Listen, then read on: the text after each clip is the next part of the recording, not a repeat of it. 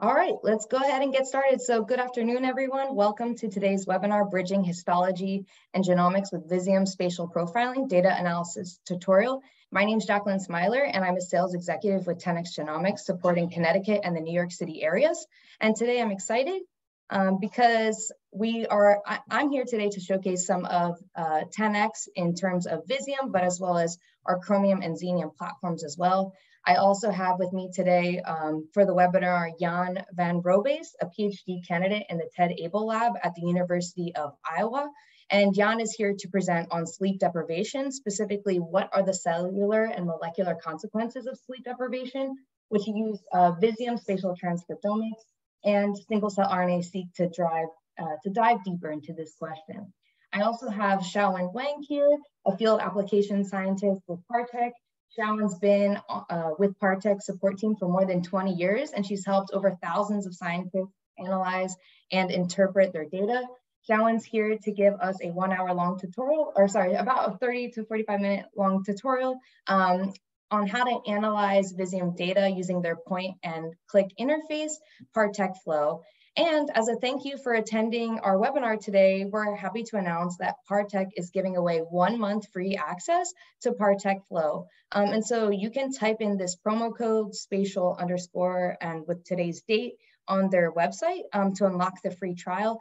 And we'll also post this information in the chat as well um, so that you um, can be able to Oh, I already got a question. So we'll, I'll get to that question in a moment, uh, Jeanette, probably around the end of the uh, at the end of my talk.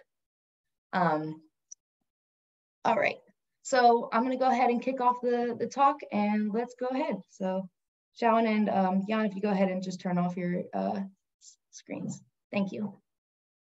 All right. All right, so here at 10X, we recognize that there is a wide variety of biological questions and sample types.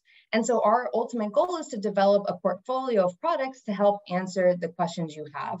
And so our motivation and mission at 10X is to build the tools to help you all unravel the complexities of biology. And we do this across three technology platforms with single cell uh, for called our Chromium platform to interrogate the whole transcriptome and epigenome, as well as other analytes from single cells. We also have uh, Visium, which is our spatial transcriptomics platform, to be able to ask where is the gene expression located in the context of your tissue section. Um, and so these are our unbiased whole transcriptome analysis uh, efforts. But then our latest in situ platform, Xenium, provi provides extremely high resolution, single cell information with spatial localization from a targeted panel of genes.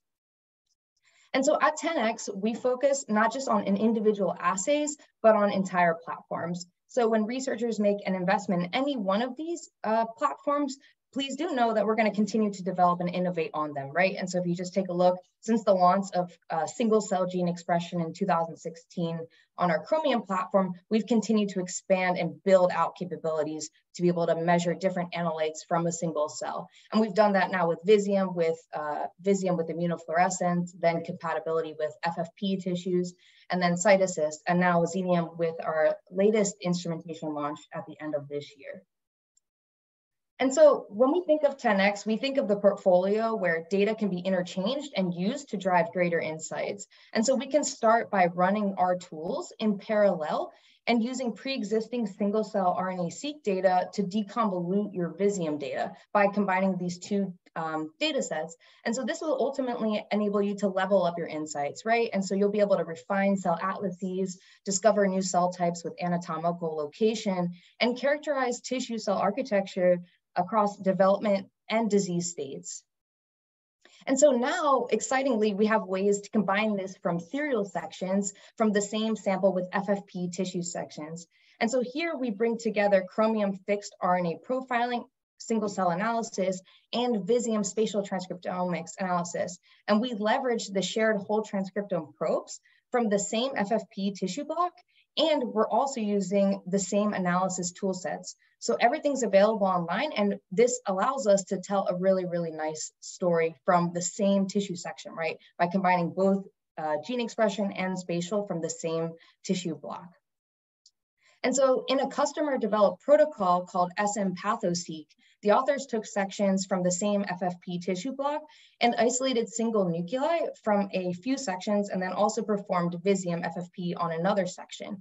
And it's important to highlight that working with FFP samples is extremely challenging. And in this case, they're working with archived breast cancer liver metastasis that was collected during an autopsy. And so they collected more than four hours after the death of the patient. So RNA after that is already starting to degrade. And then RNA further degrades just by doing FFP treatment. And then because they're working with liver, this is also challenging, right? Because liver is moderately rich in RNases. And so what's really exciting with this new probe design with our chromium fixed RNA profiling assay is that it's extremely sensitive.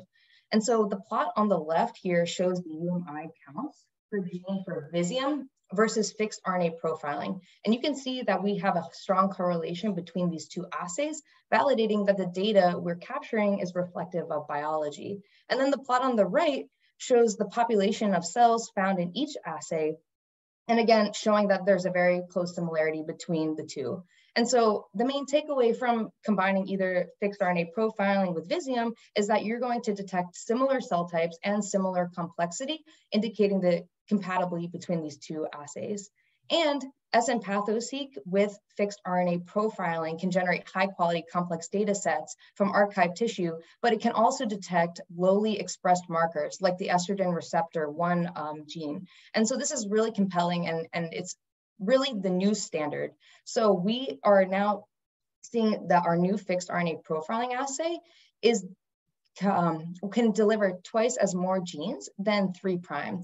And so on the right hand side, we're looking at the reads mapped against um, the, the transcriptome.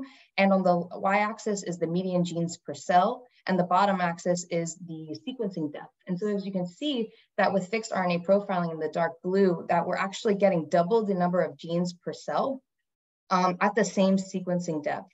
And this is really important, right? Because at this um, sequencing depth now, we're actually decreasing the sequencing cost by 50%. And additionally, you can also detect lowly expressed genes, including transcription factors like FOXA1 and TP53.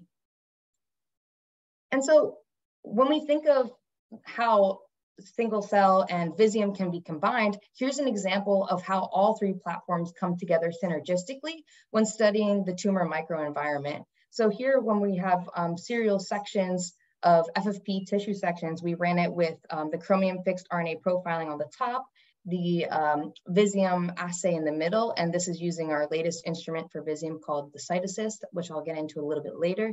And then on the bottom is the Xenium analyzer.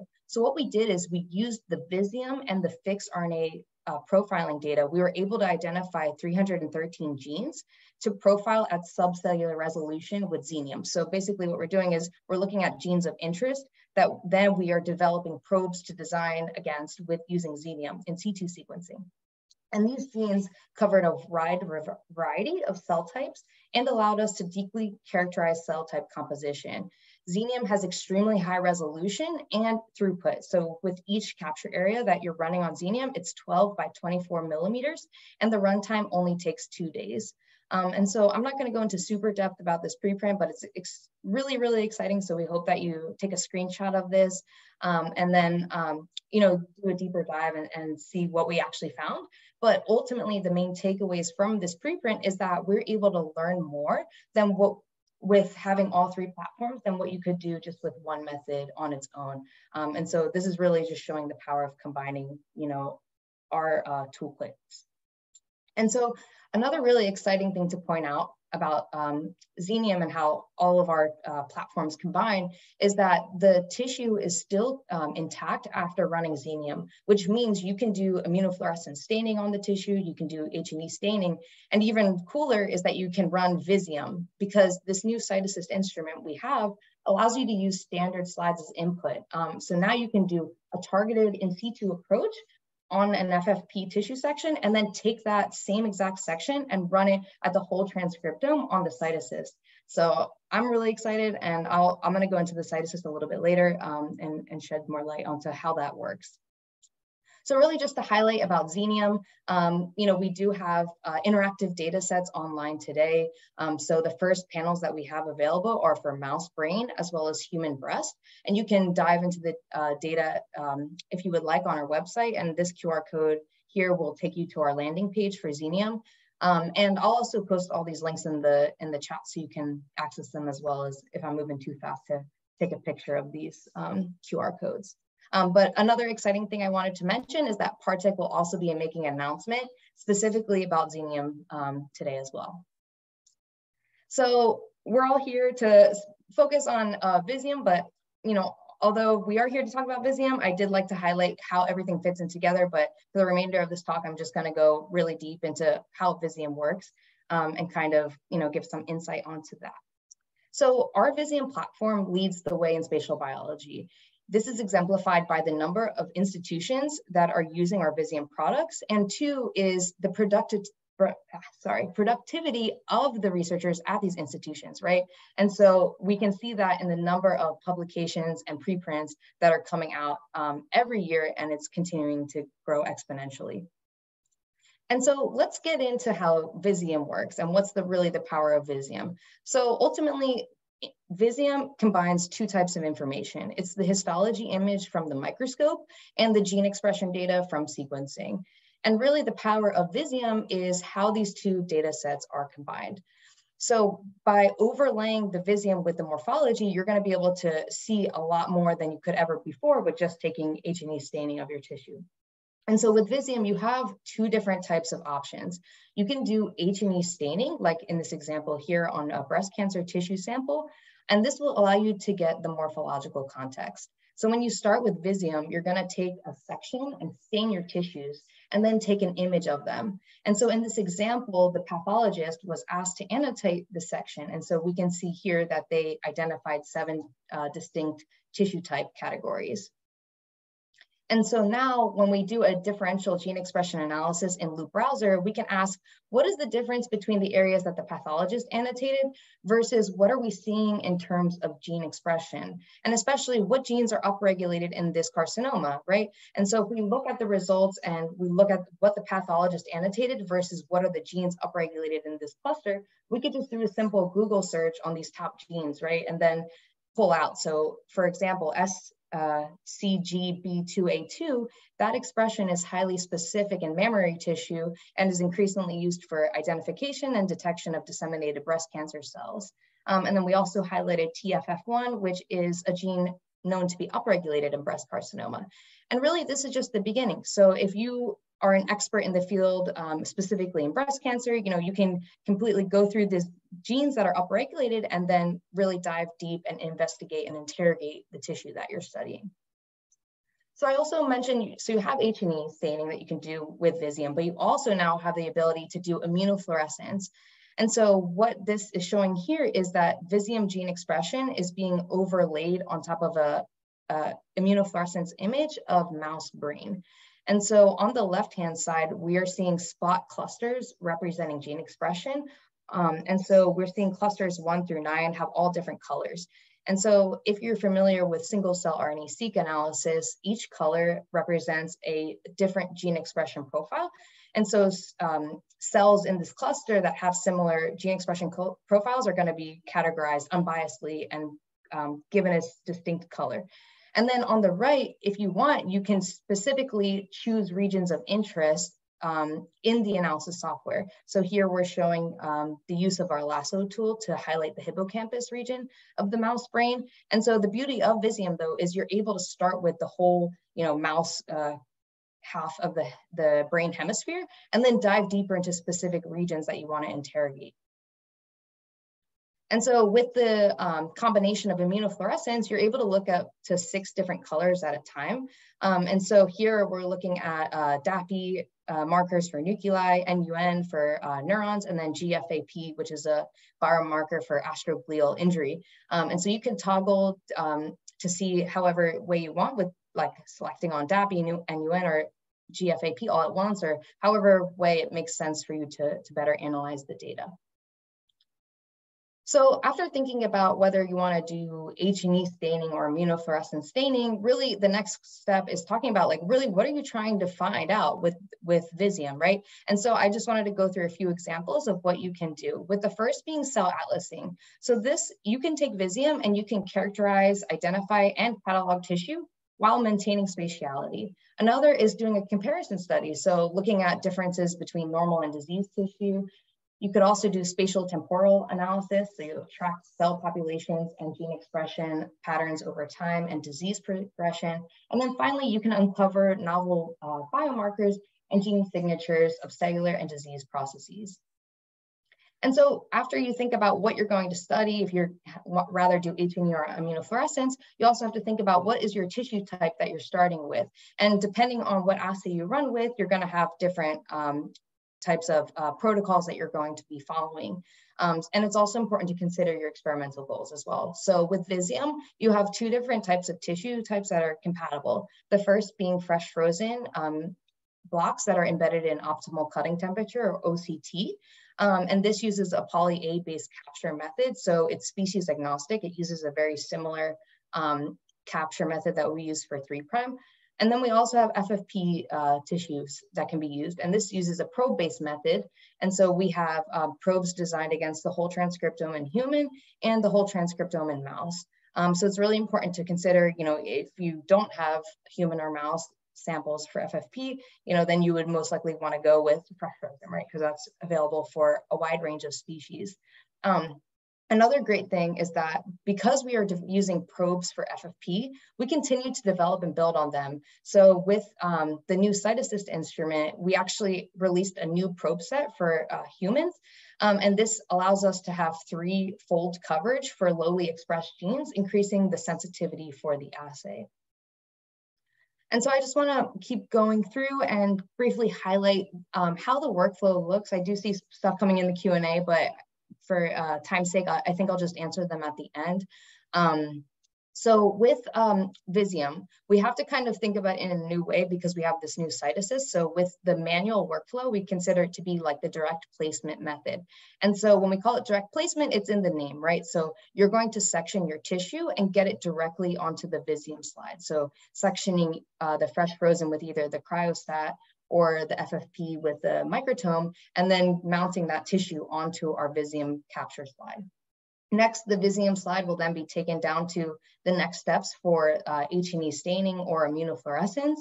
Um, and then you'll have to image that tissue and get a high resolution picture so that you can use it in the data analysis. And so like the images that I was showing before with um, Loupe browser, that's those images being overlaid. So you wanna have a nice image so that your data will look nice when you, you go to do the analysis. Um, after you do imaging, next on the slide, we're actually doing a permeabilization step. So we're poking holes in the cells to release all the RNA. And this is what's going to be captured on the Visium slide. And then we're gonna do a cDNA synthesis, amplification steps, and then library construction. Um, after library construction, we're then going to sequence the samples and then take it to our Space Ranger analysis pipeline um, and then Loupe browser, which is going to let you visualize your data. Um, and so this slide shows the key of the Visium technology for the direct placement workflow. Um, and as you can see on the left-hand side, each Visium slide has four capture areas. The capture area size is 6.5 by 6.5 millimeters, and each slide has about 5,000 barcoded spots um, that are present per capture array. And here are represented by different color uh, dots to represent each spot. And then if we look at each spot more closely, we can see that it's made up of a million of these probes on the right that contain very specific barcode sequences. The one of probably the most important is the spatial barcode, and this is going to serve as the coordinates for where your transcripts came from um, on the glass slide. And then you have a unique molecular identifier that's going to count each transcript. So this is going to be unique to each single one of these oligos. Um, and so with the uh, the fresh frozen assay, the poly-DT primer on there is going to allow for a direct capture of the poly-A tail of your mRNA transcripts. But when we're using the um, FFP assay, we're doing a probe-based method, right? And so we are actually developing probes that have uh, synthetic poly tails, and that's what's gonna be captured with these poly-DT primers on the slide. So the slides are manufactured the same, it's really the underlying chemistry that differs. Um, and so I just wanted to highlight how the probes work for FFP. Um, and so on the top, we're seeing a left-handed probe and a right-handed probe. Um, the right-handed probe has that synthetic poly A tail. And so essentially what we're doing is before going into um, the, the permeabilization step is we're hybridizing these probes to our target mRNA. And so we hybridize them, they ligate to one another, and then we're gonna digest the target mRNA, leaving behind the surrogate that's going to have this synthetic poly A tail. And ultimately, that's what's going to get captured with the Visium slide. And so as we remember, these probes are designed against the human and the mouse transcriptome, but it's um, we do have uh, these probes list online, and so we're excluding specific probes that could potentially like take up room in your sequencing data like mitochondrial ribosomal, but some other probes are excluded as well, like viruses and bacterias. So importantly though, is that you can generate custom probes now to spike into the Visium assay. This is not officially supported by 10x, but we do see researchers out in the field doing this. For example, um, here's the latest preprint where they utilized custom uh, COVID probes during their Visium uh, FFP assay. And so this is really exciting um, and I'll post this in the chat, but now you can get viral uh, detection from um, Visium FFP. And then Additionally, there's another uh, method out in the field called spatial total RNA sequencing that allows you to capture both A-tail and non-A-tail transcriptome.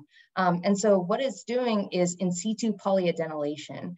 And so the authors applied this STRS method to study the regeneration of skeletal muscle after injury and the pathogenesis of viral-induced myocarditis.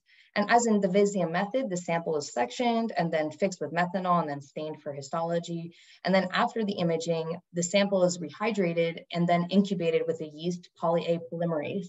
And this adds a poly-A tail to the three prime end of the RNA so that the endogenous poly-A tails are extended and then the non-A tail transcripts are polyadenylated. So this not only one lets you capture non-coding RNAs, it also lets you capture newly transcribed RNAs and viral RNAs. So this is really exciting. And I quoted this um, line straight from the paper that it's ultimately a straightforward and uh, way to implement this method and it adds minimal cost and time to an already, already widely used commercial available workflow.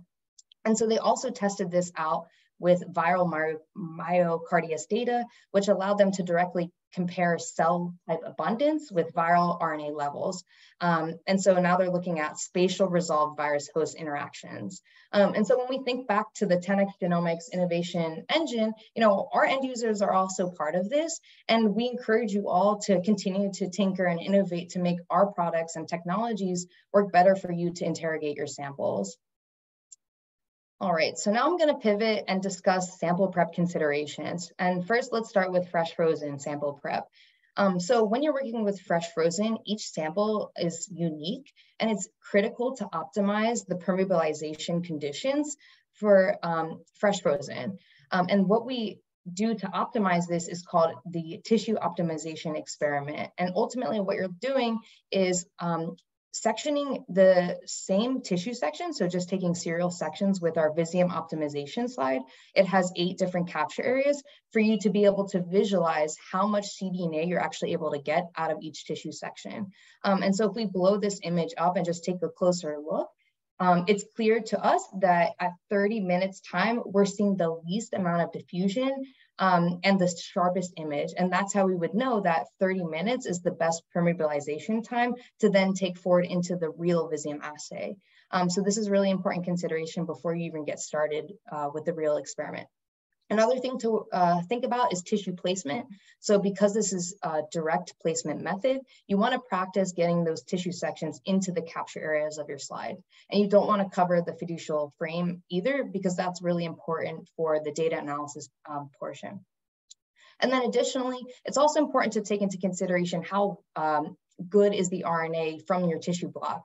So we recommend checking the RNA um, using the RIN score, and we have recommendations of having a RIN score greater than seven, um, but this is not indicative of if you're going to have an ultimately successful library. So this is a merely a suggestion that we're, we are pretty sure you're going to get good results, but people are able to actually get really good results from RINs that have less than seven. So it's just kind of like our guidelines of what we hope for you to follow. And um, ultimately, if you're not sure if your sample type is going to be good, just reach out to our support team and we'll be able to walk you through um, any of our um, best practices and guides. So in addition to all this information, all of this is online in terms of how-to videos and demonstrated protocols. So you can review all this on our website.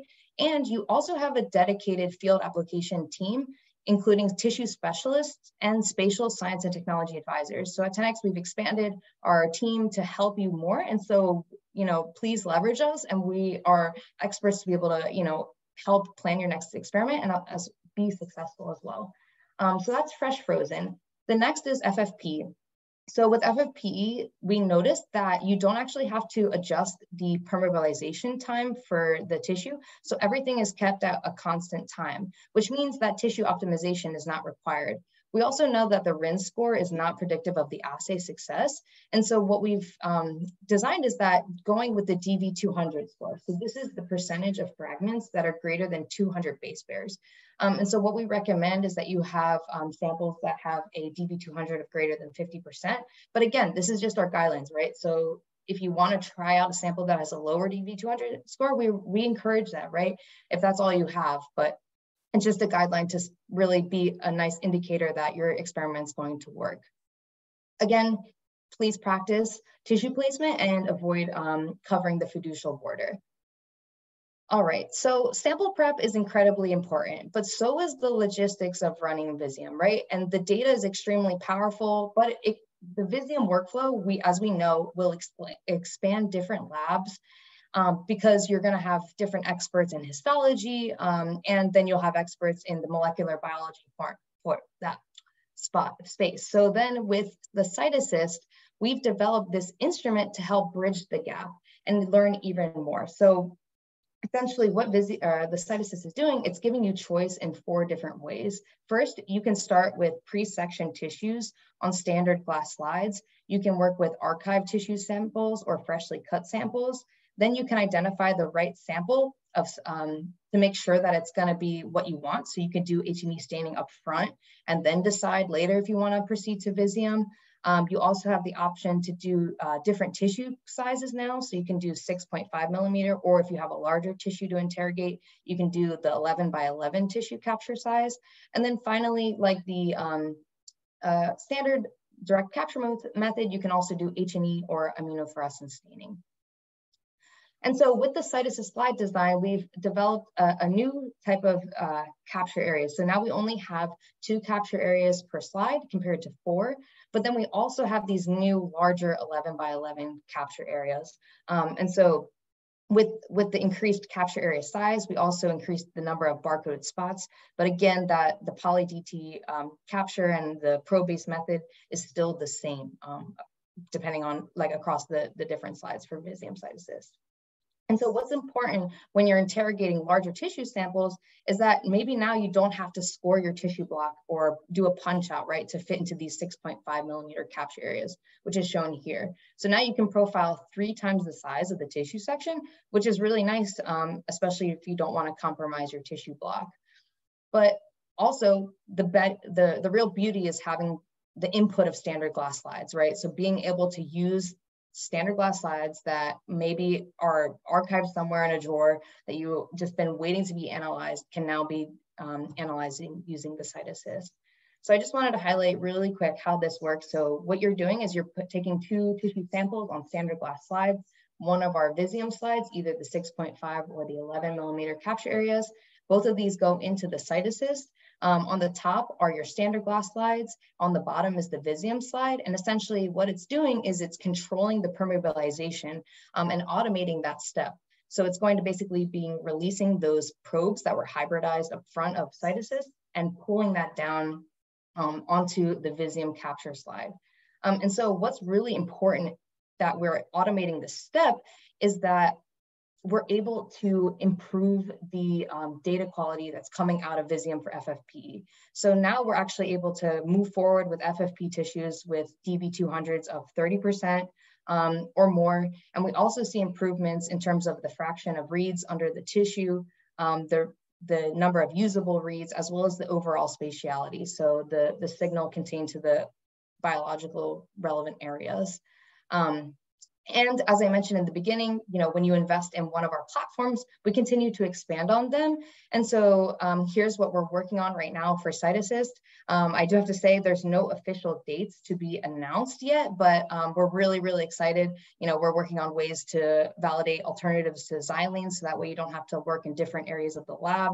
We'll also have guidance for tissue microarrays, um, bone. I know that's really exciting for some people, um, as well as working with frozen tissues. So since CytAssist is only FFP, we're working on making it compatible with frozen, and then also fixed frozen, which I know a lot of people have um, doing that in their lab as well. So this is all just really, really exciting. Um, and so with the advice and support across the board from sample prep um, and uh, processing, you know, we continue to develop and, and build on all of these platforms. And we're really committed to maintaining, you know, the, uh, the uh, sorry, the analysis pipelines and, and working with uh, groups like Partek to continue to like build out on what we can offer and really be partners along the way. Um, so I really thank everyone for their time. Um, and I have a bunch of questions in the chat and the Q&A, so I'm gonna get to those in just a moment. Um, so please bear with me and I'll also post in the chat like all of those, um, the links for our website. Um, but next up, I am going to introduce Yann again. Um, so Yann, whenever you're ready, you can go ahead and come on slide. There's Yann. All right, so Yann, I'm going to hand it off to you. Yann's here um, to talk about his um, presentation titled Spatial Transcriptomics to Define transcript Transcriptional Patterns of Sleep Deprivation in the Mouse Brain. So Yann, you should be able to just swap uh, screens with me.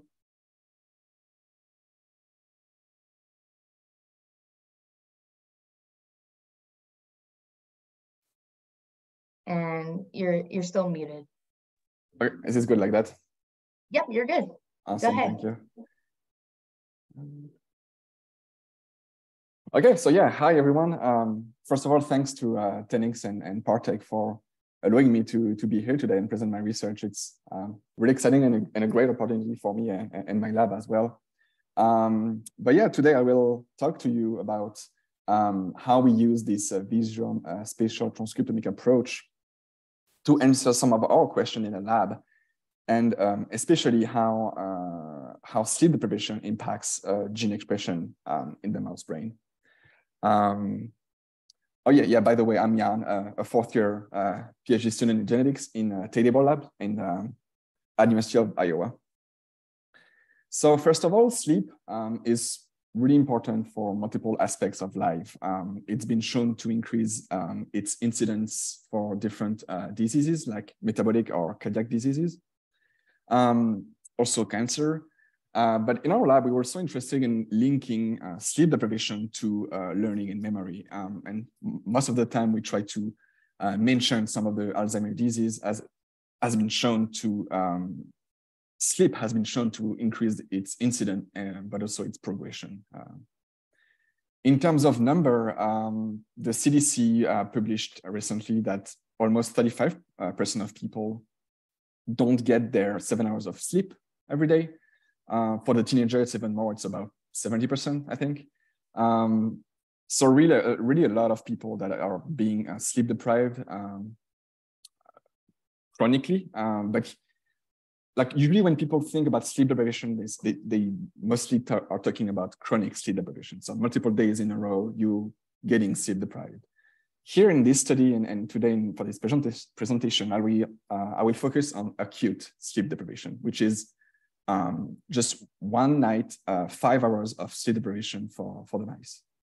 And so in my lab, we previously shown that this acute sleep deprivation, just one night is enough to impact um, uh, some uh, learning and memory tasks, such as the contextual fear conditioning, the object, um, spatial object recognition, the Morris water maze. Um, um, of course, if we're talking about learning, uh, we also shown that it impacts the long-term potentiation and synaptic plasticity.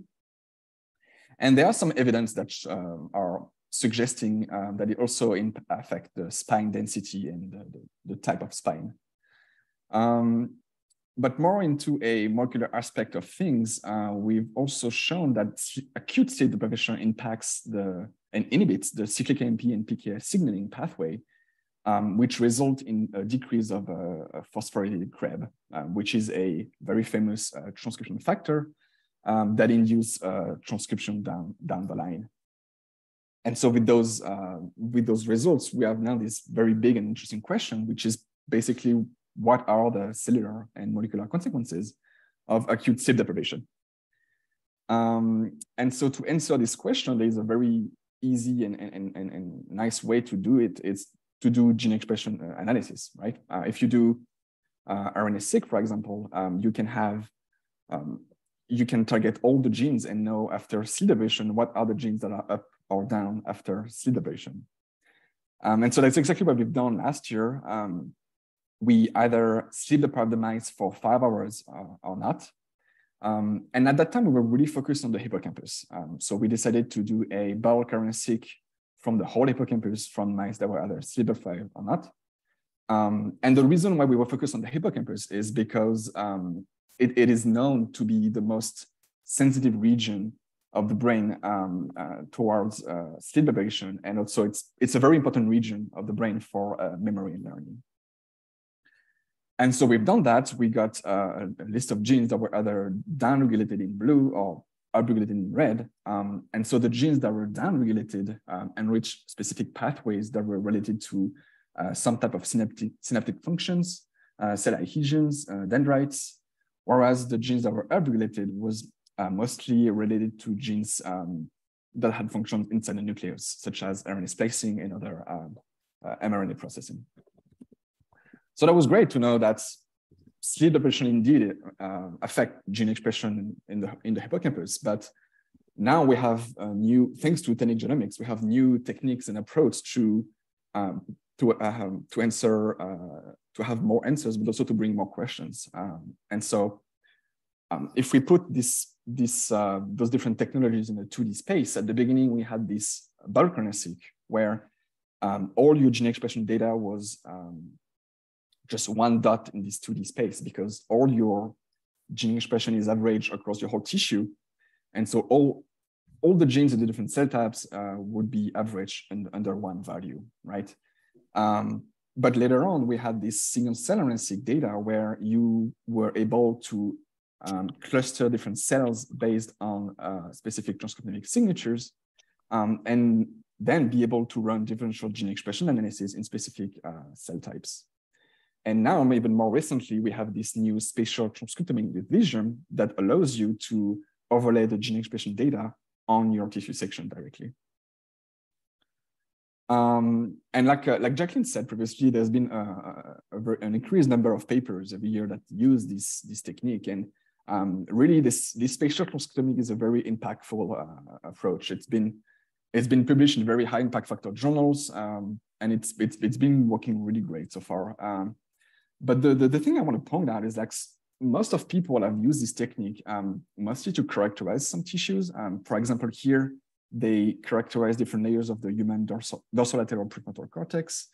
Um, over here, this paper, they, they use the, this, this Visium to um, characterize some uh, tumor microenvironment, um, which is great. Uh, but here we wanted what we wanted to do is uh, really to use this technique to be able to compare the slides together, uh, either the, the, the, tissue that was um, coming from sleep deprived mice against the, the tissue section that were coming from non-sleep deprived mice. Um, and so why, I guess it's already been said a, a bit, but why would you choose Visium? Well, um, for different reasons that, that Jacqueline also said previously, um, like, like in the name, um, it it stands for uh, spatial information, but also with the whole transcriptomic data uh, associated with. Um, and so you're able to overlay your gene, gene expression data directly with your histological uh, image uh, of your tissue section. Um, you won't have any dissociation bias uh, for your transcriptome analysis. Um, and you can also retain the the organization of your tissue and cellular microenvironment. And finally, if your uh, tissue is heterogeneous enough, you will be able to uh, have some type of uh, cell type identification. And that's also something I'll show you at the end of this uh, presentation. Um, so quickly, this this um, the workflow of Visium. Um, Jacqueline we went over it, but so I will guess. I guess I will be I will go a bit quicker on that. But we decided to do uh, to use 16 animals. So eight mice were sleep deprived, and eight mice were non-sleep deprived. And so from each animal, we took one coronal section, and you can actually fit half of a coronal section per square on those uh, slides. And so as you can see, you can fit uh, four uh, different sections for each slide. Um, and so the most um, interesting part here, after you took your image of your tissue section, uh, that will be useful later on for downstream analysis, the interest, interesting part is this permeabilization step where uh, you have a bunch of uh, barcodes that are on the slide. Uh, and so once you put your tissue section on the slide, all the barcodes will enter vertically into your tissue and target your whole transcriptome. And so in those barcodes, you will have the information, um, the spatial location of those barcodes. And so later on, when you sequence everything, um, when you do your synthesis and, and, and et cetera, you will be able to retrieve those uh, spatial location of your uh, gene expression data. Um, so I guess I'll use also this slide to uh, give credit to people uh, here that really did a great job. So we have a, we actually have a neurobank core here at University of Iowa where Quinnaline did a, an amazing job preparing the, the samples. Um, and then she passed that on to our genomic core, who also did, um, as always, a great job uh, sequencing everything and giving us a, a very clean uh, data set. And so my job pretty much was to analyze this very interesting data set. Um, so how does it look in terms of in terms of results? Um, so in A here, I show you the, the staining. So you take uh, an image of your tissue section, um, and so you can already see some structure on, on your brain. Um, you can see the hippocampus over here with the CA1 at the top and the dentate gyrus as a V shape uh, over here. And so, like I said, on this tissue section, you have a bunch of different spots that you can see in B. Um, and each spot has barcodes that target the whole transcriptome. So you will be able to compute a transcriptomic signature for each spot. And so just like in single cell, the spots that have the same, uh, that have a similar uh, transcriptomic signature will be clustered together, or here will be colored, the, will have the same color. Um, and so you can already start to see some different regions of the brain have the same color. Um, and if you put uh, an atlas, uh, a mouse atlas on the right, you can see that the, the transcriptomic signature of each spot in B recapitulated really well the, the, brain, and the brain anatomy of, the, of this atlas. Uh, and that was something really, really exciting to see that uh, just by looking at those uh, 2,000 or 3,000 most viable gene in each spot, we were able to, to, uh, to map the, those different brain regions very, very easily. Um, and so in green, for example, here we have the hippocampus, um, we have the neocortex at the top, we have the fiber tract in yellow here around the, the hippocampus. Uh, in lighter green, we have the thalamus, and in, under the thalamus, we have the hypothalamus, for example. Um, and so just like that, I was able to subset my data set um, into all those different brain regions uh, because my, my goal was to look at gene expression changes after sleep deprivation in those different brain regions uh, individually. Um, something else you can do also is, um, like I said, it's, it's very similar to a single cell RNA-seq data set. And so you can do a UMAP plot again, uh, but this time each dot is not a cell, but a, a spot of your of the slide.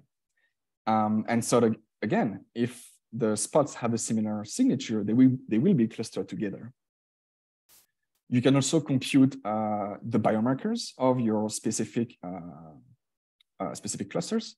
Um, and that's actually what they, they used in this paper that I previously introduced, where um, they used the specific biomarkers on, the, on their tissue section to identify specific macroenvironment of the, of the tumor.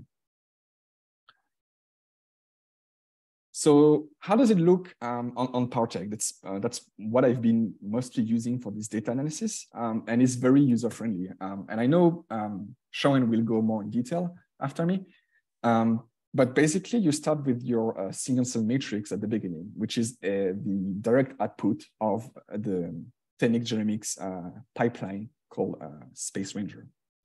Um, so you get your matrix of gene expression data, And the first step is to annotate this uh, matrix with your tissue image, uh, which is just uh, using the barcode information to overlay your gene expression data on your tissue section. Um, then you have like classical steps of filtering and normalizing. Um, I, uh, I actually correct for batch effect because we, we actually did this experiment twice. We started with eight mice uh, and it worked so well that we decided to do it again to have uh, more power. Um, so we had two batches of Visium uh, data to combine, um, but also to correct for batch effect. And after you can do some different analysis like um, differential gene expression analysis and filter your gene list, uh, for example. Um, but what's interesting here is like each circle is a is, is a, a node, a, a, an analysis node. And so at any moment you can choose to use another branch for a different type of, analysis if you want to try something else. Um, and that's exactly what I've done here. After I annotated my images, I went and I tried uh, another um, normalization uh, algorithm. And that's kind of what I wanted to bring you uh, here. Um, if, we, if we take an overview of the whole workflow with all those different nodes at the end, which is one for each uh, brain region, um, the main take-home message I want you guys to take from this is that from what I've tried with those type of tool and data, um, the, the, I first log uh, transform my uh, my data, which is a very classical and normal uh, um, normalization step that we always do in bulk RNA-seq and single cell RNA-seq um, that is very suitable for gene expression um, uh, analysis down, down the line. Uh, but there's a new algorithm that came up uh, more recently that's called SCTransform um, for um, and for the, the graph-based clustering, uh, meaning that this algorithm actually performed better than the log transform in terms of finding the different uh, trans transcriptomic signatures of each spot or each cell if it's a single cell RNA data. Um, and because it's able to find uh, better the signatures because it, it kind of it kind of do a better job in the way that even the very small changes in signature, of this algorithm will be able to detect. But because it's able to find very small differences, if you keep this algorithm to do differential gene expression analysis, you will have very, very big fold changes. And when I say very big fold changes, it will be like tenth, like thousands or tens of thousands of fold change, um, which is a, a lot. Um, and it's if, if you do that, then it's a bit hard to compare your data set and your gene expression data with other uh, other data set, like a classic volcanistic, for example. Um, it doesn't mean it's wrong. Uh, you will have both algorithms will give you the same um, kind of uh, uh hits, uh, same genes significantly affected. It's just like the, the value uh, will be way, way bigger with the SCTransform algorithm. So that's why here in Partek workflow, the, the, the neat thing here is I, I, I, can do two branches in the same time and identify my clusters with SCTransform, but then transfer the labels of those clusters back to my log transform dataset. And so in the end, I have very nice cluster identified that have a log transform dataset um, to be able to perform differential gene expression analysis in specific clusters. So in terms of results, how do what do we have? Um, so in in on the left, it's this is a bar graph showing you the number of significant genes affected in each of those brain regions after sleep deprivation. So comparing the eight slices that were sleep deprived versus the eight slices that were non-sleep deprived. And we were actually surprised to see that the actually the hypothalamus uh, comes in first place, uh, meaning that the, the hypothalamus is the brain regions um, transcriptionally most affected after cell deprivation. Um, the hippocampus comes in, in, in, right after in second place, but uh, we were actually surprised and, and, excited to see that, well, maybe we shouldn't really focus that much on the hippocampus. Maybe we should look at other brain regions because apparently the hypothalamus seems to be um, the brain region the most affected in terms of number of genes significantly affected. But it gets really interesting when uh, on the right, we do this type of Venn diagram um, overlapping the gene list of uh, the, the, first four brain regions. Um, so even though we do have a small overlap between each brain, each of those four brain regions, the majority of the genes that are in, in those bold numbers at the, at the extremities of those Venn diagram, the majority of the genes affected after sleep deprivation is actually specific to this brain region, um, which is pretty much the, the main uh, the main result and the most important result I have so far for you today is that the sleep deprivation really impact gene expression, but those changes will will change completely depending the brain regions you are looking at. And actually, we can do the same uh, by splitting the genes that were down on the left and the genes that were up on the right. Um, and it's actually pretty funny to see that if we do that, uh, now the hippocampus comes first.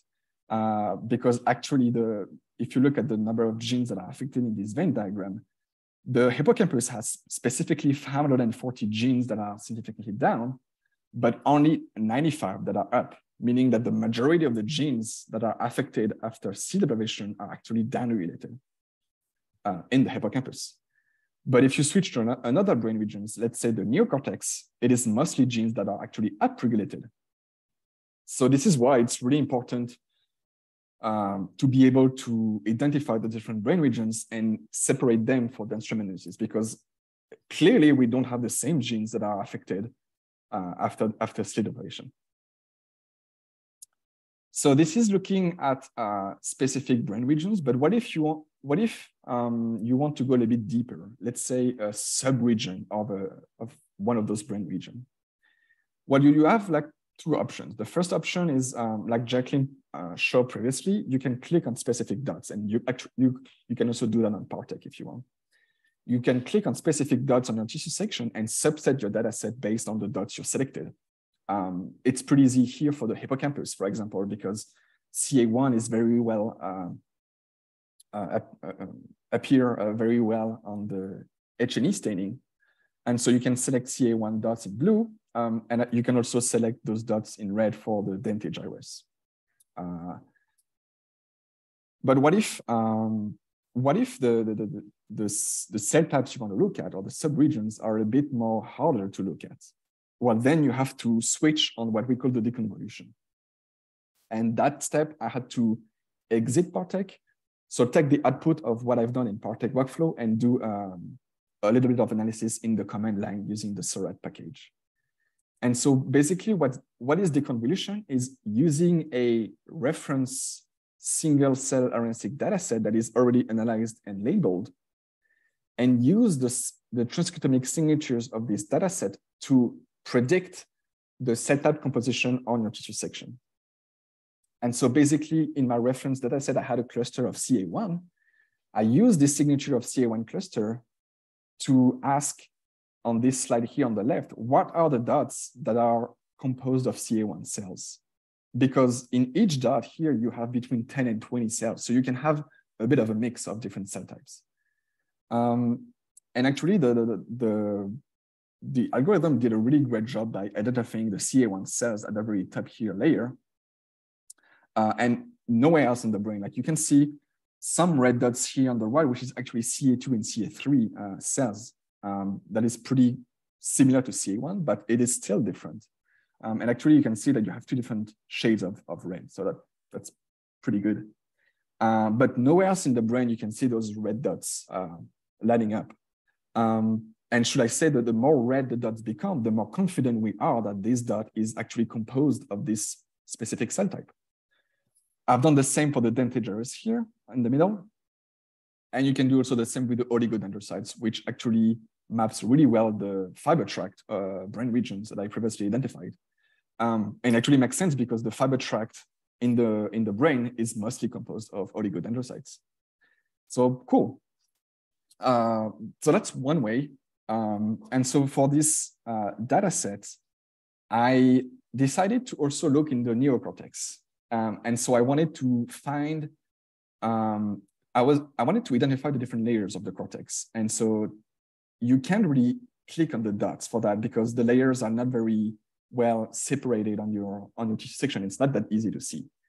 But if you do some deconvolution, then you using another uh, reference uh, single cell data set, I was able to predict um, the different layers of the of the cortex on this um, on this tissue section.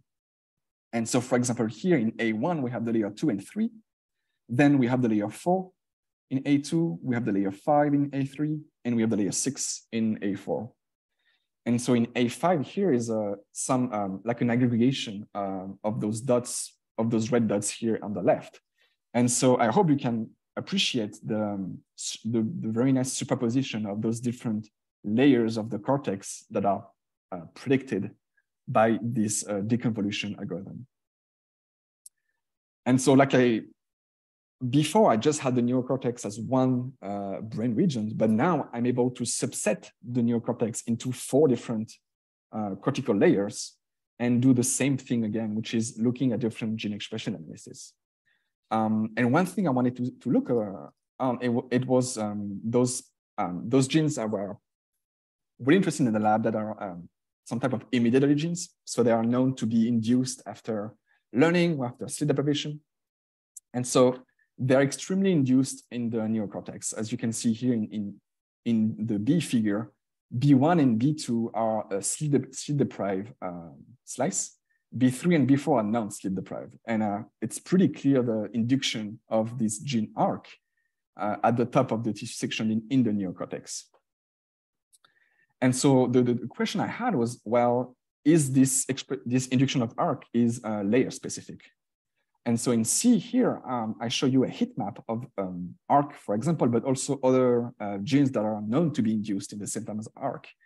Um, and actually, we I didn't really have a, a, a specific pattern of those genes in, in, in, any specific layers. Really, it was it was very much uh, and significantly induced across all different layers. Um, so that was that was great to see that as a, as a control, but uh, also as a as a uh, potential application uh, downstream of uh, of the spatial transcriptomic data analysis. And again, we can do the same thing as I previously showed for the specific brain region, but this time with uh, specific cortical layers. Um, and this we have the same conclusion again: is that the genes, most the majority of the genes that are affected after sleep deprivation in those specific cortical layers are actually specific to uh, to each to each layer. Um, you can see that for for example in layer two and three we have almost 600 genes that are upregulated here on the left, uh, but only 78 that are down. But if we switch to the to the layer four, it's only six genes that are up, but 85 that are down. So again, depending the the cortical layers you're looking at, the number of genes and the directionality also of, of the genes uh, completely change. So it's it's really I, I think with this this uh, study and this project, we really need to be able to um, differentiate and identify those different brain regions and, and even subregions because it apparently the transcriptomic changes are very, very different depending on the spatial location you're looking at. And so that's pretty much the two main uh, conclusions I want you to remember from this uh, presentation is first, you uh, we were able to identify the um, the anatomy of the mouse brain just by using those transcription, transcriptional signatures of each spot. Um, and the second, uh, the second message is that the in, in our case for sleep deprivation, um, it induces uh, specific transcriptomic changes um, that are really specific to each brain region. But if you focus on one brain region, or sorry, on one brain regions, for example, the cortex, it's also very specific to the cortical layers of the cortex. Um, and so, yeah, with that, um, there's a lot of people to thank. Um, obviously, my uh, my mentor, Ted Abel. Um, uh, also, special thank to Emily Walsh, who did um, the sleep, who sleep deprived the mice. Um, Queen Aline, also Kevin from the from the core, and also Xiaowen, who was really really helpful to teach me how to use Partek workflow for my data analysis. And with that, I'll take uh, any questions if you have. Thank you.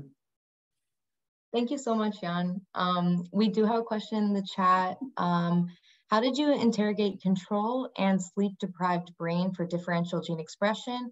Are they on the same block or did you interrogate two Visium data sets and then normalize them? Um, so uh, basically, the, the nice thing with Partek is that you integrate your uh, data set at the very beginning of the workflow. And so all the slices were kind of, um, um, all the non-sleep deprived uh, slices were already together uh, and, and combined together in, in, into one, uh, one data set. And so it's kind of taking the average of, of all those eight slices and, and doing like uh, statistics and, and fold changes uh, out of that. Got it. Let's see if any other questions pop up in the chat. Or in the Q&A, I guess I should say. Um,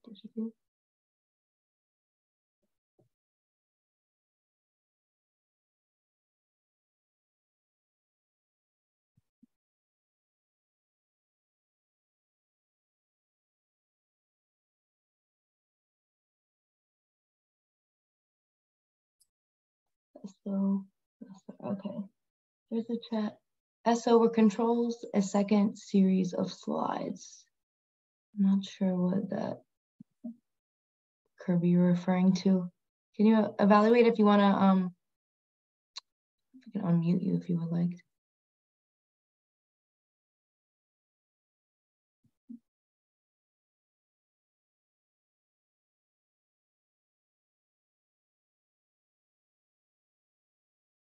Uh, yeah, so the um, yeah, yeah, I see the questions. Um, so basically the, the control, the non-sleep, we had, we had 16 animals total. We had eight animals that were sleep deprived and eight that were non-sleep deprived. And so from, uh, from each animal, we took one section of the brain. So we ended up by having eight sections that were kind of sleep deprived and eight sections that were non-sleep deprived. Um, but all sections were integrated together on Partek um, labeled differently based on the condition, but they're all integrated together. Um, and so when you run differential gene expression analysis, you compare the eight slides sleep deprived versus the eight slide non-sleep deprived. I don't know if it's answered the question. Um, Kirby, yeah. can you yeah, can you let us know? Um, yes, okay, it answers the question. cool, thank you. Great. Um, does anyone else have a question for Yann? If not, you can post it in the Q&A and Yann, if you're free to stick around. Um, yeah, of course, yeah. Answer. Okay, great. So I'll bring on Xiaowen next um, from Partek. Xiaowen, you can go ahead and uh, get started, but Xiaowen's gonna give a nice overview of what Partek is, um, how you can incorporate it with Visium, and then also do a live data tutorial. So Xiaowen, go ahead and uh, take it away. Great, thank you so much. Can you see my slide? Yes, you're good. Okay, great. Um, hello, everybody. Um, next, I would like to show you how to analyze spatial gene expression data using point and click interface with the Partek Flow. Yeah, first, I will give you a very brief introduction about what Partek Flow is uh, for those of you who never use Flow, and then I will do a live demo of the software. Partek Flow is the browser-based application. The server can be hosted on a cloud or your local facility. As a Flow user, all you need is a browser-enabled device like your computer or your smartphone. Whenever you have um, uh, an account, you will have a username and login uh, and password. So you can use your Google Chrome, Firefox, Safari, or Microsoft Edge. Partek Flow supports all kinds of single cell sequencing technology, like single cell RNA-seq, cell surface protein, CRISPR perturbation, single cell ATAC-seq, VDJ, and the spatial transcriptome. For spatial transcri transcriptome, we do support both Visium and Xenium protocols. Also, you can integrate uh, data coming from different assays, like uh, RNA-seq plus protein, or RNA-seq plus ATAC-seq, or RNA-seq plus VDJ, uh, etc. Data can be imported at any stage. You can start your data from the raw sequencing data, like a BCL or FASTQ file, or you can start from processed data generated from other tools like a Cell Ranger, Space Ranger output, Seurat object, H5AD, text file, TXT, CSV, TSV formats. During your analysis, you can export your data at any stage. The exported file is industrial standard format. visualization will enable biologists to, to explore their data, um, explain their result, and present their discoveries. And Partek visualization is interactive. And the export images are publication quality. You can save them as PNG, PDF, or SVG formats. Flow has a comprehensive and robust statistic tools needed for single cell data analysis, start from beginning all the way take you to biological interpretation. You can QC the cells or genes at different levels. We have a variety of normalization methods. Dimension reduction allows you to visualize the data. You can use PCA, t-SNE, UMAP, etc. When you partition your data, you can use the clustering method options uh, like graph-based clustering, k-means clustering, uh, hierarchical clustering, etc. When you classify your cell types, we do have automatic uh, cell type classification algorithm, which allowed you to use a, an existing uh, classifiers from the database or you can build classifiers yourself using your own biomarkers. When you integrate data from different resources, you might have a big batch effect. We have different options for you to do batch, batch correction, like a Seurat integration, Harmony, and Partek batch remover. You can compare your different cell types or different treatment using a variety of inferential statistics uh, to find the differentially expressed genes like parametric or non-parametric methods. Also, you might want to uh, analyze the number of cells across different cell types or uh, between different treatments. Uh, we can do that visually and statistically. For trajectory analysis, we, we implemented Monocle 2 and a Monocle 3. And you can use a different uh, database like uh, KEGG pathway, uh, gene ontology uh, uh, gene set, or MSigDB database to do pathway analysis and further interpret your biology. Every step in your analysis is recorded. The audit trail allows you to track what was done, who did that, when that task was performed, how long it took, and how much um, output data it generated. And the detailed information about the parameters used will uh, enable biologists to, to write their material and methods uh, sections in the manuscripts. Collaboration is very simple. If you want to share a project with your colleagues, all you need to do is type in their name. And you can share with the uh, with them at different levels, like collaboration level, collaborator levels, or viewer levels, which only allow them to visualize your plots and download the report you generated. And you can also easily share with a group of people. There's no file transfer needed. Whenever you need help, we are always there. We have tech support uh, all over the world, and there's a lot of educational resources. You can invoke that from Partek Flow, um, like user guide, tutorials, and videos. Partek also provides discovery services. If you never use Partek Flow, please feel free to contact us to uh, get a free trial. And again, for today's viewers, you will have we have a promotion code allowed you to have a one month free, free trial to Partek Flow. With that, I'm going to do a live demo um, because the time limit, I will mainly focus on how to identify cell types um, using visualization. The data set is downloaded from 10x website. Um, there are two mouse sagittal brain samples.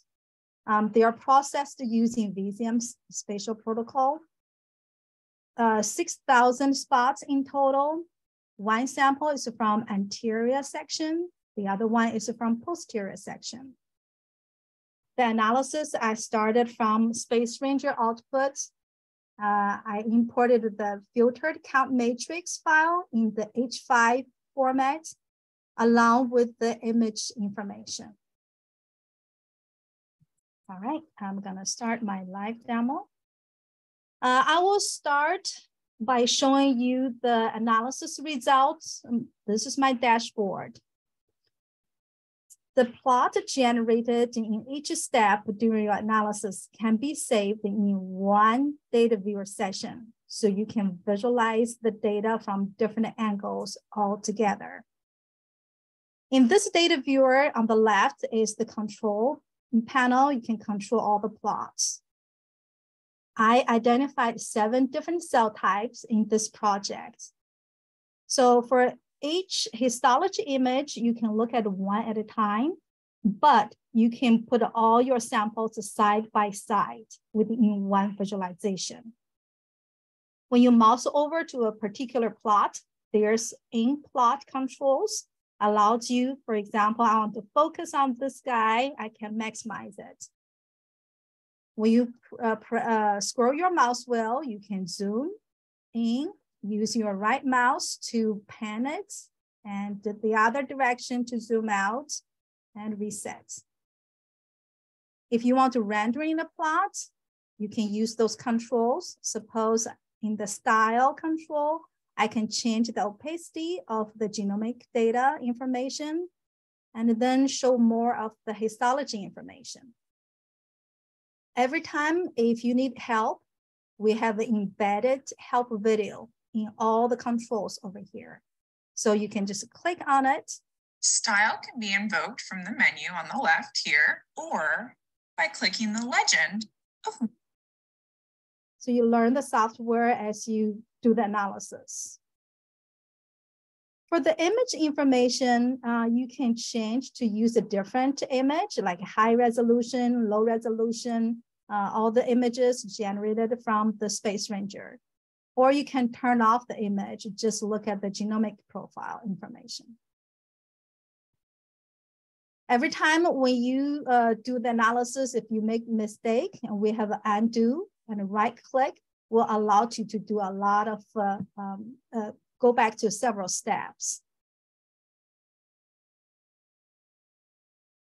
Even the histology can be looked at uh, for each sample individually, but from the genomic profile, we can put all samples together and visualize them all together using a UMAP to look at the cluster information. And this is a 3D UMAP. If you press down your left mouse, you can drag it to rotate the plot to look at the different angle. Also, if you go to the grouping, I can choose to split the plot by sample name. Now you can look at this, those two samples side by side with the same coordinates. And when you rotate that, they will be rotated together. After you identify the cell types, uh, when you compare different cell types, identify biomarkers, uh, the dot plot is a very uh, nice way to display the biomarker genes. For example, in here, I show x-axis is the cell type, y-axis is the normalized gene expression. We can clearly see the TTR gene is a biomarker, positive biomarker of uh, epidermal cells. With this type of plot, uh, there's a lot you can change to different style. For example, you can overlay box whisker plot, turn off the violin, and move it over here, uh, or using violin, turn off the, the plots. So you can change to different styles.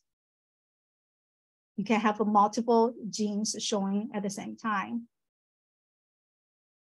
Um, however, if you want to highlight your biomarker, multiple biomarkers for different cell types, uh, I think a bubble map is a more efficient way to help you tell the story. And this plot, x-axis is each of my uh, seven cell type. Y-axis is the marker genes for the for that particular cell type. And the color more red means high expression of the gene within this group. And the size of the dot, uh, the dot also represent the percentage of the cells they have greater than zero expression for this gene. And you can easily transpose this plot, flip that into 90 degrees. After the cell type is classified, you want to look at the composition of the cell type uh, within a sample. So pie chart and a bar chart can help you tell that story. And in the pie chart, whenever you mouse over on a section, you will know in this hippocampus cells, we have how many cells and the percentage of the cells in this particular sample. However, you can easily combine them so if I choose don't split my sample, this is all the uh, different cell type composition in the whole project um, between the two samples. And the uh, bar chart is telling you the similar story. And from here, I can clearly see uh, I have more oligodendrocyte cells in my posterior samples compared to anterior samples. However, hippocampus cells is the opposite. In the bar chart, you can, this is showing the proportion. However, you can change that to absolute value by turn off the 100%. So we clearly see we have more cells in posterior samples compared to anterior samples.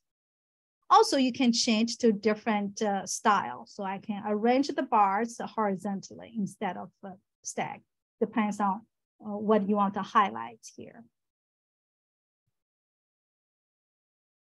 Um, after I identified the cell types, also I try to compare uh, the two samples to find the genes showing differential expression in a particular cell type. So I filter down to Purkinje cells and compare those two samples. Suppose you have a different treatment, like uh, what Yann did he has two different groups, so you can do this type of comparison too. And in this uh, volcano plot, each dot is a gene, x-axis is the log fold change, and the y-axis is the FDR p-value. So the upper right and upper left corner of the cell, uh, of the dot represent significant genes. And you can easily select, highlight the genes. You want to look at who are those genes you know, by highlighting, using control to select them. Once you select, uh, use your criteria to select a certain uh, genes showing differential expression, and heat map is a very efficient way for you to uh, visualize your results. So within here, this is the cell level heat map, and uh, uh, y-axis is the uh, gene, uh, x-axis is each cell. I group, um, I group them, look at those two samples in Purkinje cells. So the, I highlighted the blue color, the blue group of the genes is showing upregulation in the anterior samples compared to posterior samples. And the red group of the genes is showing the opposite.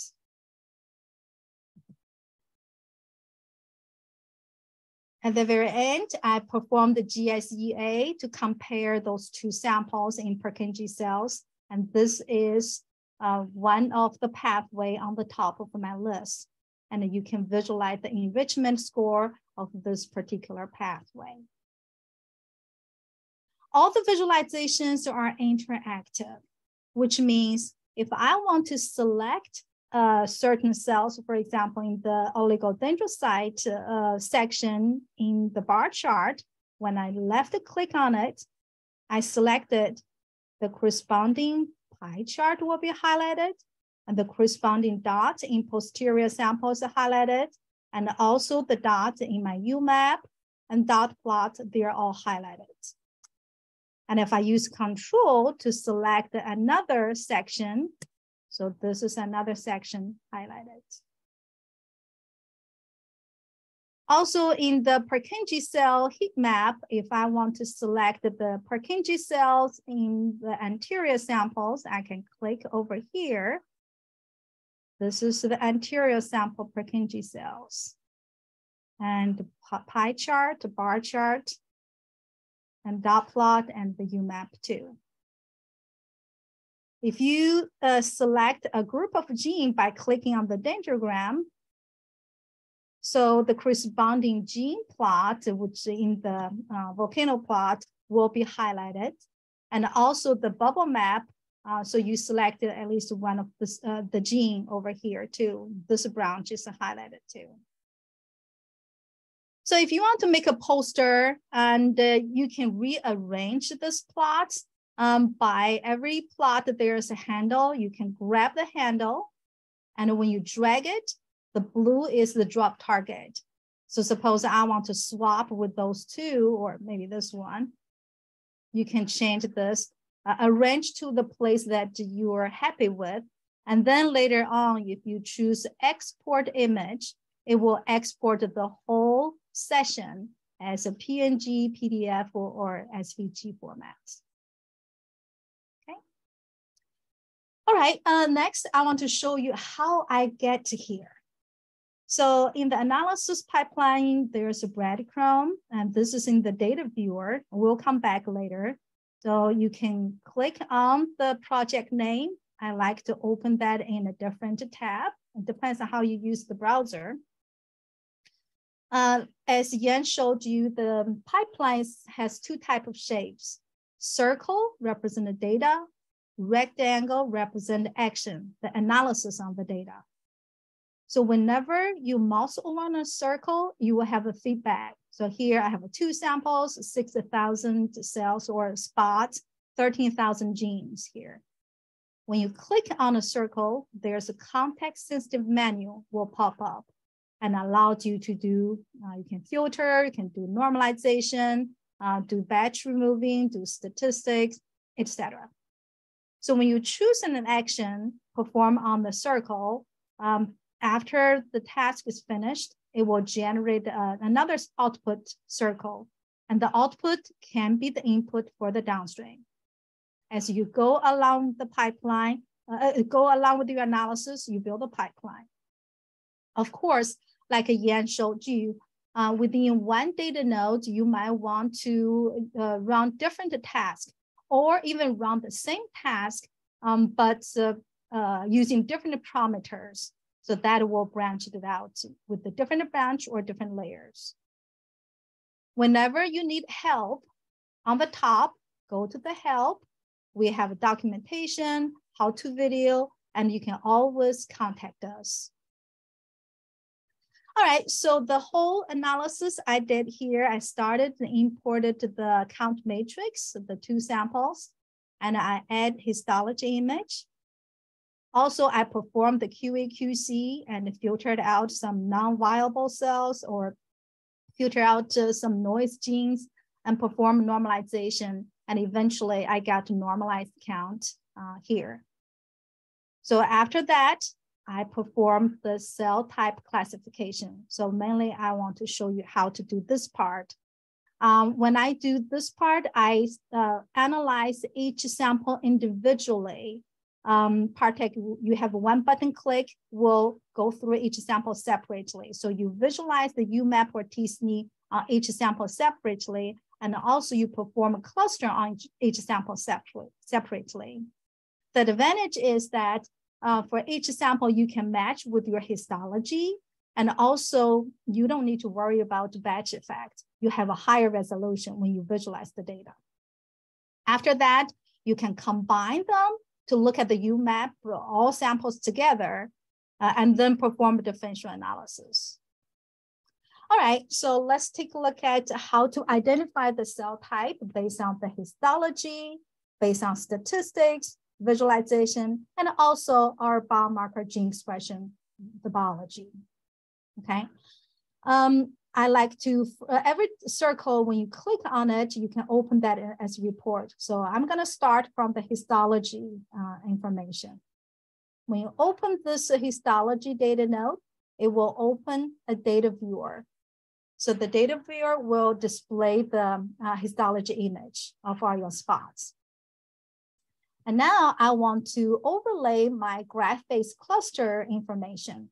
So if I click on get data, um, I, if you don't know how to use that, again, watch the help video. So I will search for my graph-based um, graph-based uh, report data nodes. Whenever you mouse over it, you can see the minimap where this data node in your pipeline.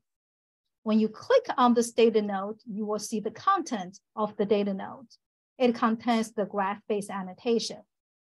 So when you see the green background, that means you can drag this uh, annotation, this item, and when you drag it, the blue again is the drop target.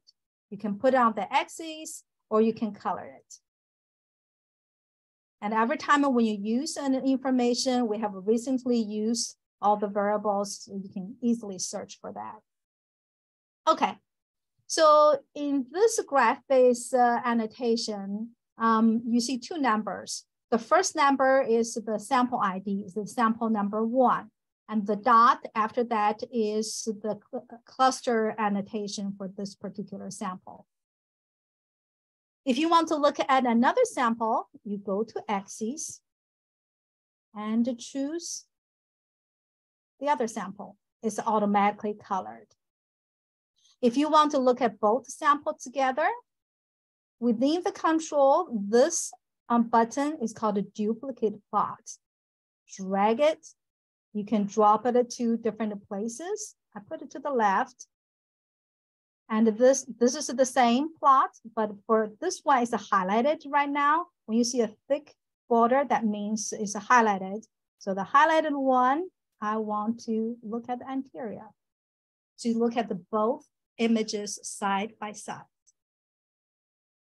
At the same time, I want to look at the UMAP on uh, cluster based on the gene expression profile only and to look at each sample separately. So now I can grab, go to my, uh, the information, what information you want to use to generate the plot. I look for my UMAP data node. So this UMAP I calculated on each sample separately. So this data node, I'm gonna grab the, this data node and put it to the location, okay? Put on the top and what type of plot you want to make, 2D or 3D? I want to look at 3D scatter plots. And then I want to duplicate the sky. For this highlighted one, let me look at posterior. Now, um, you can see the coordinates, they're different because they calculated separately.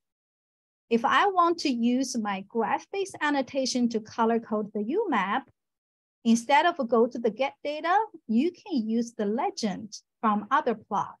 So see here is the green color. Every green color, you can drag it. I'm gonna drop it right here. And this guy, I drop it right here. It will be colored correspondingly. So on the left side, I have my, my anterior sa samples, right side is posterior samples, but they are from different angle. Okay. Um, sometimes if you want to configure all the plots, you can use control to select, left click to select all the plots, and you can render them all together. So suppose I want to make the uh, dot size bigger, you can make them big or make them small. And you can type in, I want to use two pixels to uh, draw the plots. You can leave all the plots up there during your analysis if you have a big uh, screen. Um, but for me, uh, I like to focus on one sample at a time. Uh, like what I said, you will have a higher resolution and also uh, you don't have to worry about a batch effect. So I'm gonna go ahead and close all the other plots. I want to focus on the posterior samples. Use the histology image, overlay my gene expression, the biology uh, information on the data to give a meaningful, classify all the, the clusters here. So when we generate uh, uh, graph-based clustering, we also calculate the biomarkers for each cluster. Um, the biomarkers is positive biomarkers, means they are high expression genes in that particular uh, cluster compared to the others. So I'm gonna bring in the biomarker table now. So go to get data, search for my biomarker table right here, uh, put to the bottom. You can only draw a table for this data node. And this one uh, is anterior sample. Again, I want to change that to posterior. So different sample, they have a different table. Maximize this plot. Uh, in the data viewer, will only give you the top 25 uh, genes. So they are ranked based on the fold change. Mm, but if you click on over here, export table data, you can download this as a text file. Um, uh, you can see more genes. We give you both gene name and Ensembl ID for you to search. So based on this, I can clearly see um, if you know if you look at your familiar biomarkers, like in cluster one, PLP1 and BP, MOBP, they are biomarkers for oligodendrocytes. So we can use the gene expression to color the plot, but I want to keep the cluster coloring too. Let me just duplicate this plot. And this one is a graph-based annotation, and this one, you can drag this gene. Again, this is a green color, we drag it High expression is darker blue.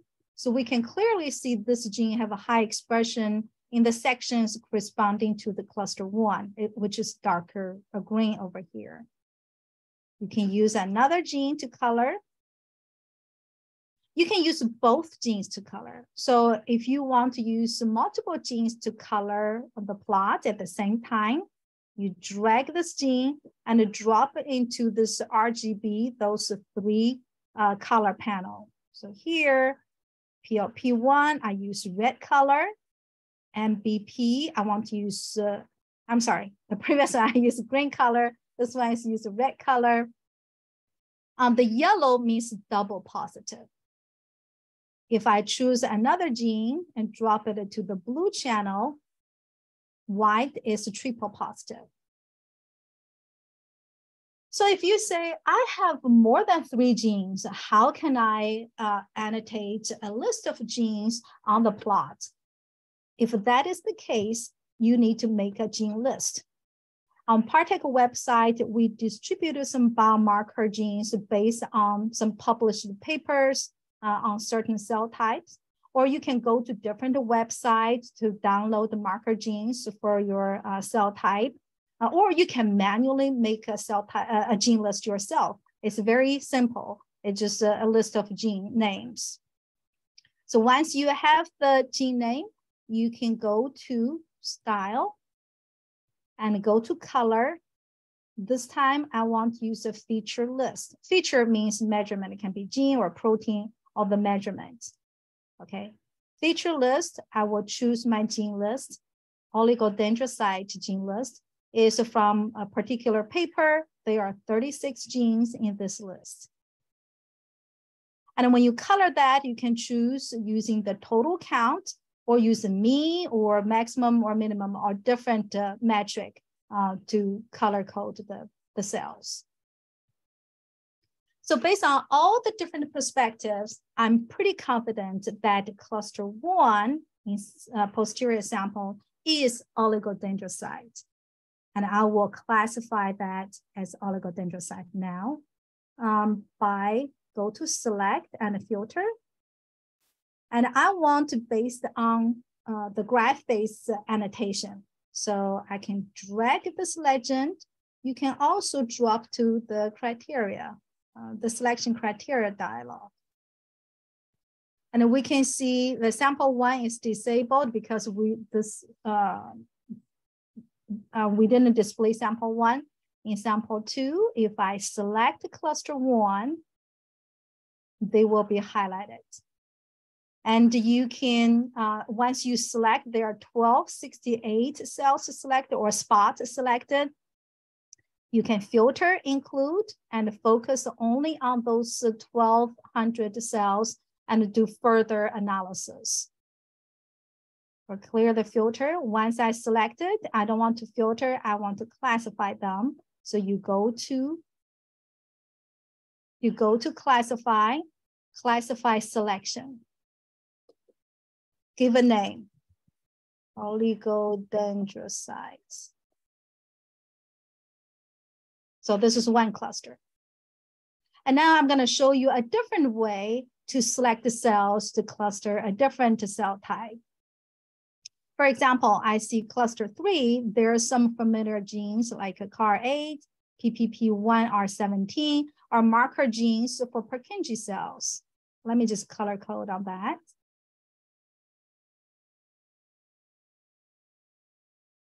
I can make it bigger.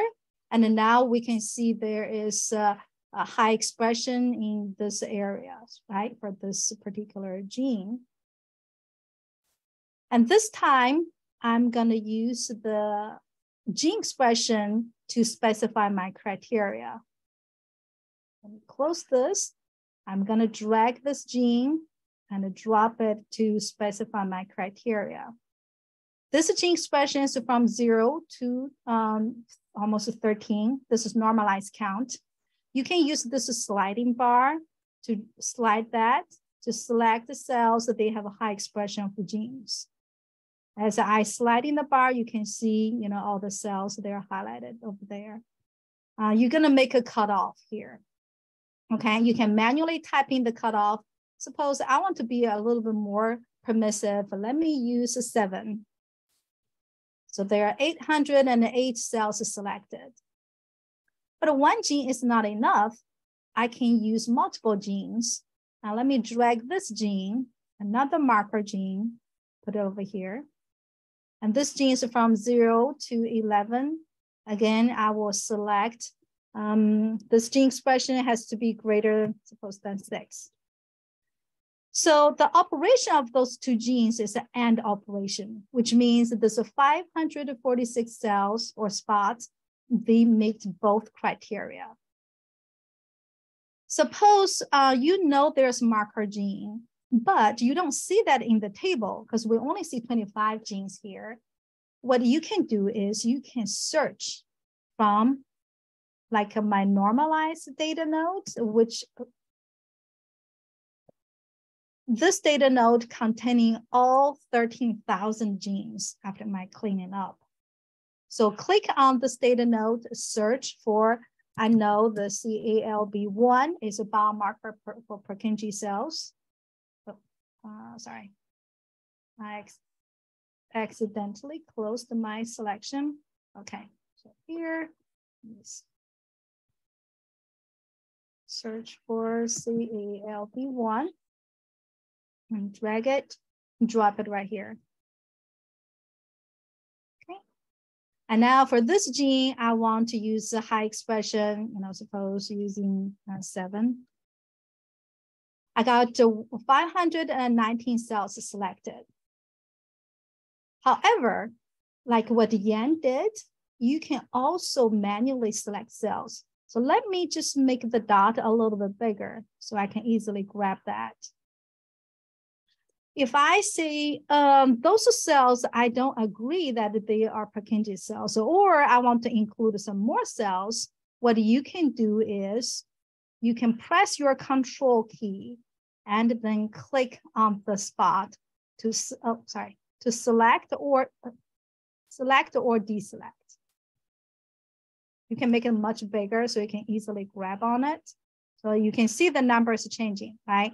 Or I want to include more cells. So you're gonna combining with um, the uh, cells selected by certain rules using statistics, um, or you can manually, you know, uh, make your decision to select cells. If you are happy with this 519 cells, that they are Purkinje cells, I will classify. Classify selection. Whenever you see a yellow uh, message, that means some cells already classified as oligodendrocyte, but now I want to call that uh, Purkinje cells. The later label will override the previous one.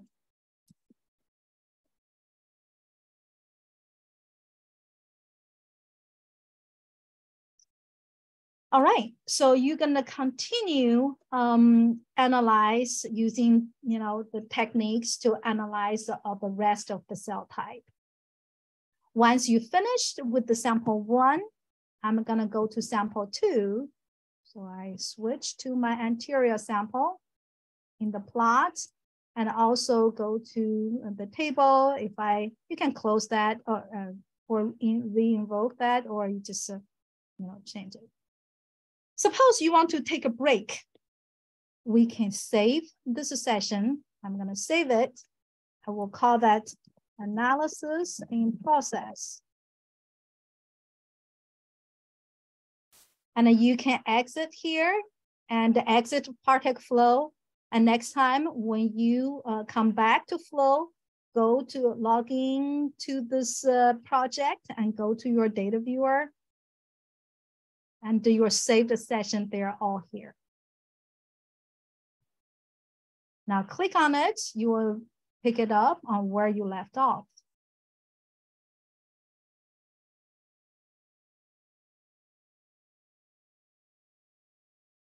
So the previous classification, they're still here. And now if I, um, based on the um, biomarker information, for example, I see cluster four, uh, let me just color code that. I could cluster four in the green over here uh, is really Purkinje cells. So I will show you how to combine the information. Uh, let's see, we go to selection and uh, again, I will choose criteria. Let me just remove all the, oh, when you specify criteria, there's no limitation on the equation formula you want to build. You can use as many genes as you want. You can use positive biomarker genes or negative biomarker genes, okay? So here I want to use a completely different criteria um, based on sample one graph-based uh, clustering and select cluster four. So now there are 337, uh, uh 73 cells selected. And previously I have uh, 1241 cells identified as Purkinje cells. So now if I click classify selection, I will call the same name by uh, selecting the, the label. Watch this number. It will be automatically merged. So even you analyze each sample individually, all the information will be combined for all your samples um, at the very end. So once you finish all your samples, all the cell types, you're gonna uh, you're gonna click on apply classification because all this information right now is only in the visualization, not in your pipeline yet. So once you click apply cell type, give a name, you know, just call that, uh, you know, my cell type, or you can call that version one, or, you know, you might want to do multiple versions. After you click run, this information will be populated to your pipeline. So if I go back to my pipeline, and every data node will be able to contain that information. So here, um, I performed the UMAP on all the two samples together. And if you open the UMAP, like what I showed you earlier, and this is 6,000 cells. And I'm gonna color, use my new uh, cell type. And uh, you can use the different shape, represent a different sample, uh, or the size of the dot to represent, uh, I only have two different sample, but you can use a different uh, uh shape, size, color, uh, rendering your plot, or you can separate them to different plots. Okay, so um, the next step, once the cell type is identified, uh, you probably want to do the comparison. So I can go back to my normalized counts and perform differential analysis and under statistics. We have all kinds of options. I would say your statistical method to choose should be based on the normalization method you use. They should go hand in hand. And I use log normal for the normalization And I would recommend you to use either hurdle model uh, or ANOVA. But no matter what, the dialogue, they are very much the same. So if you click on the next, you will choose what you want to compare. Suppose I have uh, my sample. Here I only have a sample, but if you have a treatment, gender, age, time point, uh, you will see all those information. So you can add the factor, add an interaction to build your model. Next, you can select what you want to compare. And you can compare, you know, anterior Purkinje cells versus Purkinje cells in posterior sample. Or you can compare um, in my anterior Purkinje cells, which gene are different uh, from the anterior Purkinje cells. So all the combinations, all the questions um, typically will be answered based on age comparison. So you click finish, that will generate a statistical report. However, on the other hand, I like to clean up the data. What I did is after you identify the cell type, I want to focus on one particular cell type, filter only in um, cells in Purkinje group. So that way, the downstream is more straightforward uh, and also is uh, um, uh, easier, less noise to explain. So I filter down to a certain cell type and perform a differential analysis. And the result table will look like this, 13,000 genes. And this table containing um, all uh, the comparisons of the anterior versus posterior p-value, FDR p-value, fold change, mean of those two groups. And Partek always give you linear fold change. Even your data is in the log space, we translate it to linear space. But if you are comfortable with the log space, you can add the log ratio. And some people call that log fold change. It's the same similar thing. You can add some other information, other annotation of the gene. Um, the volcano plot is what I showed you earlier, invoked from here, and the dot plot is invoked from here. Also on the left side, you can specify your criteria to filter your genes. Suppose I want to use FDR p-value is less than 0.01, uh, and a fold change, I want to use a two-fold or five-fold, you know, specify your criteria. Every time when you specify criteria, we, we always give you the feedback. You see how many genes you really want to generate for the downstream, so you can adjust your uh, cutoff. So once you're happy with this, click on generate filtered data node. It will give you um, another data node. This is a filtered data, uh, gene list. And from here, I perform the heat map at a cell level. I showed you earlier. And also you perform enrichment analysis. Also at the normalized count, I performed the GSEA to compare the two samples at the pathway level. So um, if you open the GSEA result, um, we saw the profile table, and uh, this is the, uh, the result table. So here you invoke the profile, or you can click on the pathway name to look at the gene network. All the colored genes, um, they represent fold change by default, but you can use other statistics. You can change the color over here um, and click on a gene that will take you to the CAC database.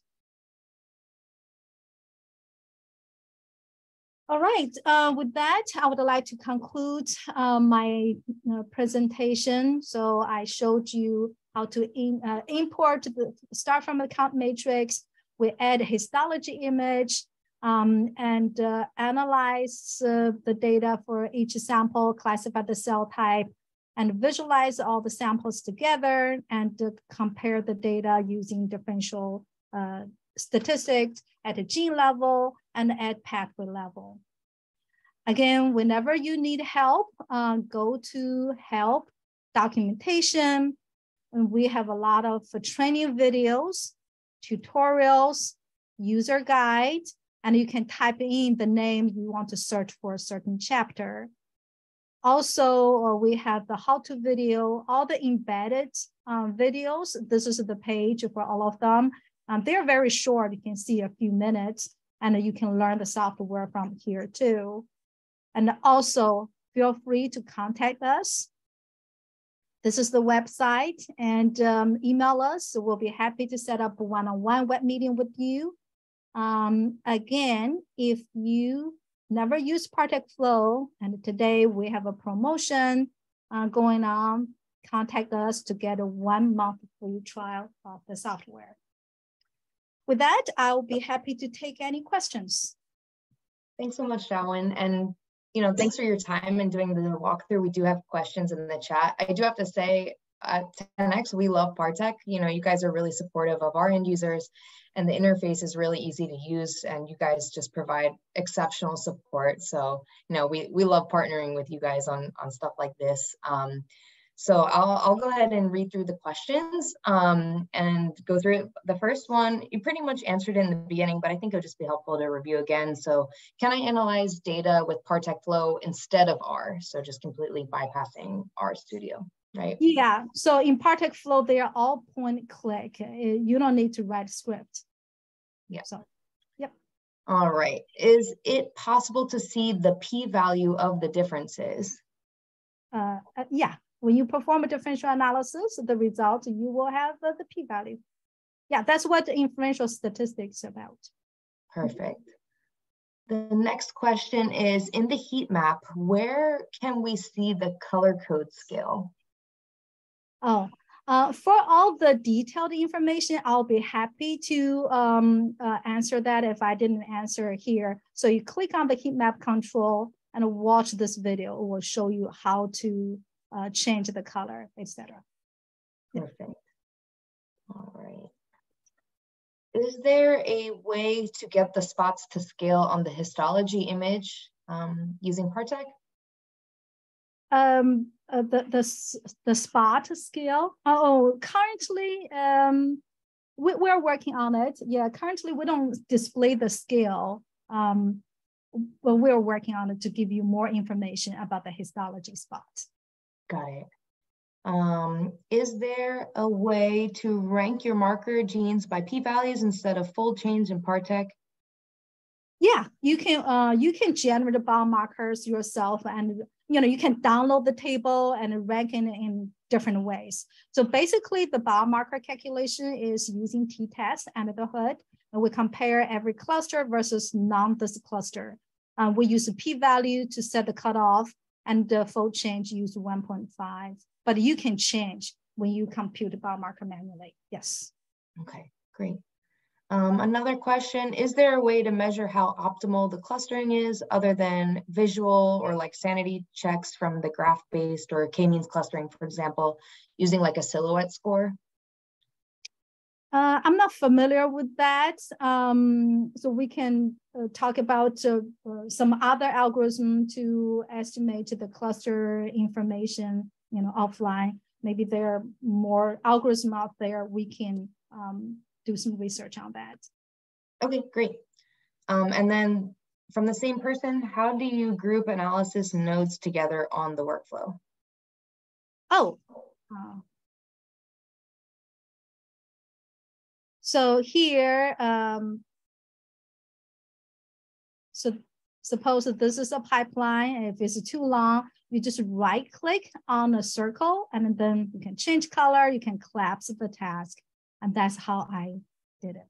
So you just choose, uh, you know, uh, if I just call, give a name and then group them to make it look clean. And when you double click on it, uh, you will see the, uh, you know, if you double click, you will see the details. Great.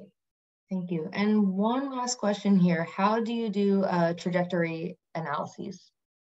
Uh, we do have, if you go to trajectory, we have a mon uh, actually we have a Monocle 2, Monocle 3, and uh, for this server, I didn't turn on Monocle 2. Um, yeah, so just one button click, click on it, it will perform the, uh, the analysis. And also you can go to our documentation and search for trajectory. So that's how you search for a certain chapter And here we have a detailed information uh, how to do Monocle 2, what that means, and Monocle 3, etc. Great. Um, all right, so that probably answered all the questions in the chat. We can probably give everyone like a minute more if you if anyone else has a question. Um, but this is really fantastic. And Yann, uh, if you're still there as well, I think you're on. Yay, Yann. And thank you so much for your time as well. You know, I think it really gives insights and gives people more ideas of like what they can do with Visium and deconvolution methods and as well as using Partek, right? So it was a really great talk today. Yeah, thank you. Thank you for having me. Great. Thank you, Jacqueline, and thanks everybody for your time. Yes, thank you so much, everyone. Um, it looks like, nope, that's just a, okay, chat, we're good. All right, everyone, well, thanks so much. I'll give everyone three minutes back of their day. Take care, everyone. Bye-bye. And happy Thanksgiving. Bye. Happy Thanksgiving.